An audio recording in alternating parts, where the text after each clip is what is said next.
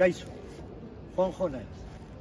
Amabi urte dara matxa gazteizko garbiketa zerbitzuan lanea. Lakoako kaleak garbitzen ditugu. Eta gehien kostatzen zeidun lana, plazeetan eratzen diren gozuki biltzarria jasotzea da. Egunero garbitzen ditugu eta urrengo egunean gauza bera aurkitzen dugu. Hau ikusi eta gero, nire, galder, nire buruari galdera bat egiten dio. Zergatik egiten dugu kalean gure etxeetan egiten ez duguna? Hiri garbi batean gure guztokoa da bizitzea, ez da?